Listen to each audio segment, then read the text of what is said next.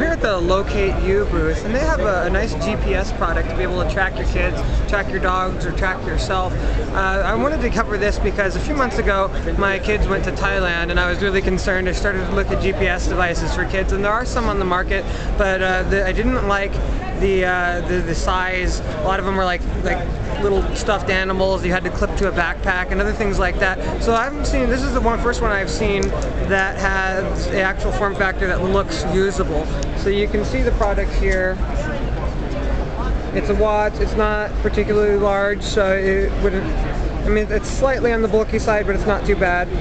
And uh, they have a the, the product well, it's a show special right now, 179, but you can go to their website, which is lok8u.com. They also have a service uh, which um, which costs $10 a month. It works globally. Uh, you can see the instructions here. You can text from your, if you're the parent, you can text from uh, uh, your cell phone, where are you, and it'll return back a street address and a location where the kids are. You can also go to their website and get a map of where the kids are, are located.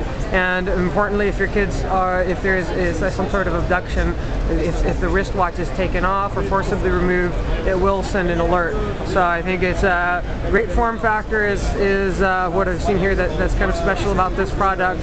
The, the company is Lok8u, which is L-O-K number 8 come.